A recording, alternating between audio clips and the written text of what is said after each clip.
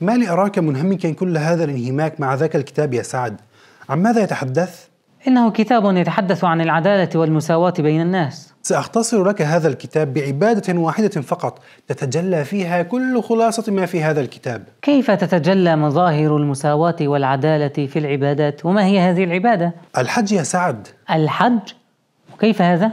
سأخبرك كيف افترض أن الله تعالى قد أكرمك بحجة إلى بيته الحرام وكان هناك أحد الملوك أو الزعماء فهل سيكون لهذا الزعيم فضل أو معاملة شرعية خاصة بحكم منصبه؟ لا أدري كيف سيكون حاله؟ الحج فريضة على الجميع فما فرض عليك سيكون مفروضا عليه فهناك لا قيمة للألقاب والمناصب وهذه أولى مظاهر المساواة في الحج أي التساوي في الفروض والواجبات. فالحج واجب على جميع المسلمين في حال وجود الاستطاعة ومظاهر المساواة في الحج تتجلى حتى في الملبس. فالإزار والرداء هو لباس جميع حجاج بيت الله الحرام الذكور على اختلاف مناصبهم وثرواتهم وأحوالهم الاجتماعية حتى ألوانهم وعراقهم فهناك لا فضل لعربي على أعجمي ولا لعجمي على عربي ولا أحمر على أسود ولا أسود على أحمر إلا بالتقوى.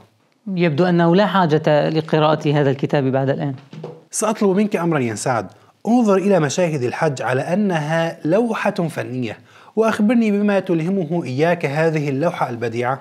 في هذه اللوحة البديعة على الرغم من تنوع الناس تنوع ألوانهم وأعراقهم وألسنتهم وغير ذلك إلا أنهم يبدون جميعا كجسد أبيض واحد.